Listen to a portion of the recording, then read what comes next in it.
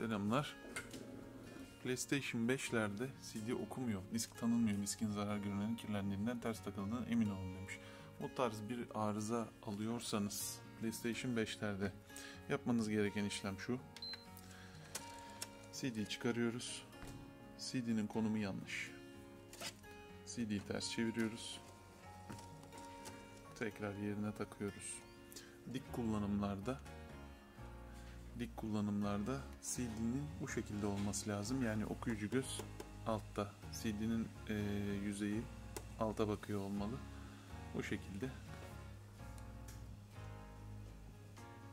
Gördüğünüz üzere zaten şu anda CD'yi okumaya başladı.